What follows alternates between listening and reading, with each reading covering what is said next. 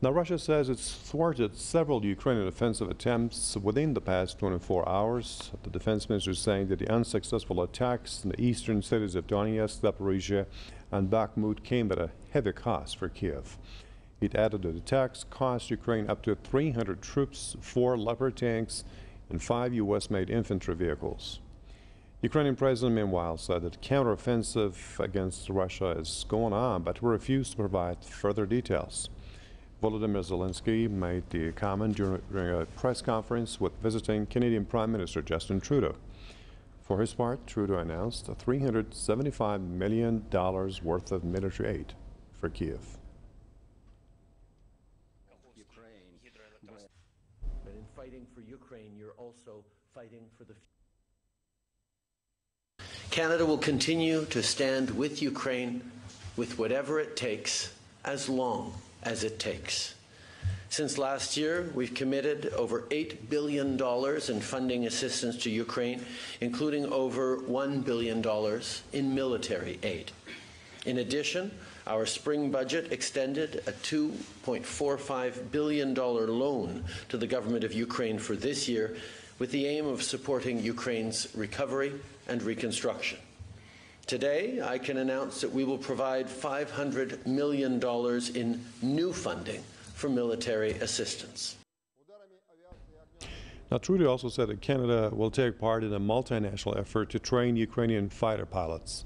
He added Canada is uh, seizing uh, Russian owned Antonov cargo aircraft that landed in Canada last year and started a process of forfeiting the aircraft to Ukraine. Russia has time and again said that the West's military aid uh, to Ukraine would only prolong the war and add to the sufferings of the Ukrainian people.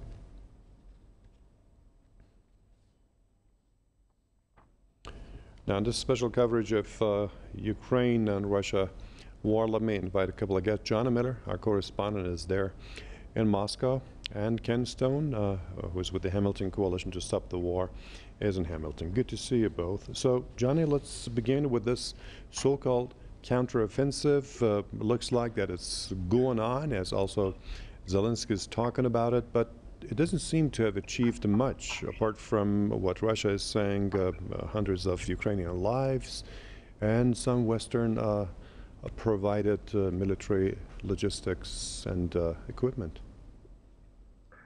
Well, yes, we, we, we've suspected this counteroffensive has gone on for a number of days already. Now it's being admitted by both sides. We think perhaps uh, incursions of the Belgorod regions in, in, Russia, even the dam explosion on Dnipro might have been connected with this counteroffensive. Now Ukraine has, uh, the last few days, has been mounting major offensives in the Zaporozhye region. The problem for Ukraine is that Russia has had months uh, to defend, to, to, to to create defenses against this counteroffensive along the Zaporozhye region, the south. They've been able to build lines, uh, numerous lines of defense. Russia also has major uh, air power. Can you hear me okay? Yes, go ahead. Yeah, sorry, there's connection problems. Uh, Russia always has uh, one of the largest air forces in the world. They, they find it difficult to use a lot of the air force inside, deep inside Ukraine because of air defense, but around the front lines, they can use their air defense, their, their, their air power. Also, Russia have an overwhelming power um, superiority in, in, artillery. And so we've seen the Ukrainian attacks so far, frankly, they, have been a, a, massive failure. And uh, Western media is admitting that as well. Uh, it's clear that the, the, the, far, the vast bulk of the Ukrainian counteroffensive counteroffensive has yet to come. But at the moment, uh, as many predicted, the Ukrainian counteroffensive stands very little chance of succeeding, and that's what we're seeing on the ground so far. Mm-hmm. Okay. Now, Ken Stone, uh, uh, we've uh, discussed enough of, uh, uh, you know, the reason for this war being dragged on and the Western support for it, especially Europeans and Americans. But now we have Canada now here. What's in it for Canada? I mean, uh, President uh, Prime Minister Trudeau just saying whatever it takes, no matter how long it takes, we'll just keep uh, contributing to this war. Um, Canada has been, from the very beginning of this war, an ardent supporter of the Ukrainian government. In fact, it helped to put the uh, Ukrainian government into power uh, in the U.S. sponsored coup of 2014. And ever since then, it has been arming and training the uh, de facto Ukrainian NATO army.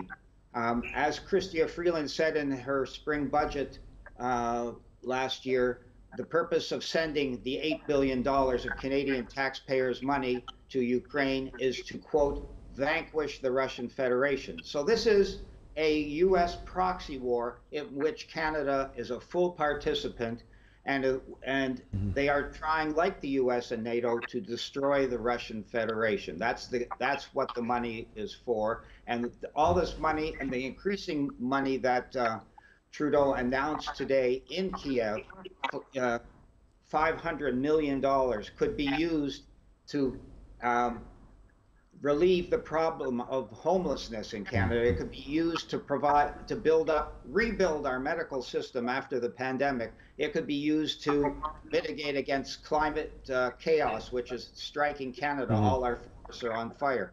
So instead, they're spending the money on war, and our peace movement says that there should be a negotiated end to this war uh, as soon as possible. And for our part, we are touring Dimitri Lascaris across Canada, a leading peace activist who went to Moscow in the month of April and has come back to tell Canadians it's time for negotiations to end the war.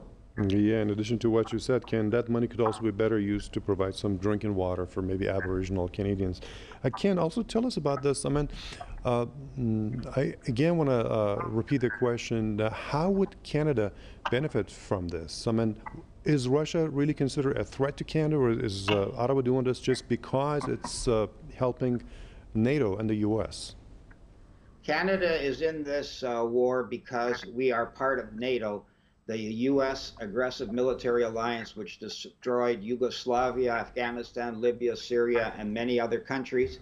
And we are in it as a junior partner, a willing partner to the U.S. empire. There is no benefit to this war for the Canadian people. As you said, there is no money to even give drinking water, clean drinking water to the native people in Canada. Okay, thank you so much uh, for that. But before we go, Johnny, if you could also tell us about uh, the dam explosion and uh, uh what's happening now, about the ramifications.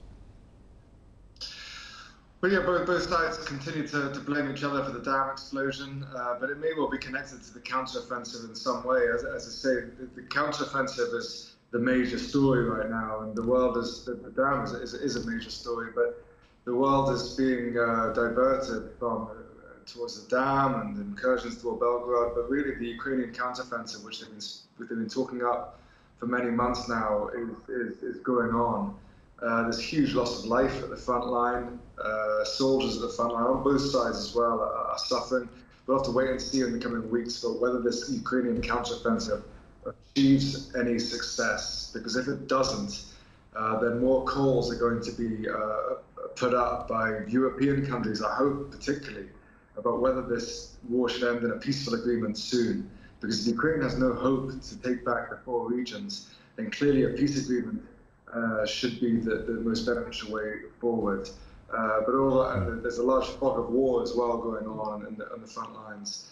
Uh, but all eyes right now on, on the Ukrainian counteroffensive and will it prove uh, successful? Right now, it looks like it's it's it's really struggling. Uh, but we'll have to wait and see.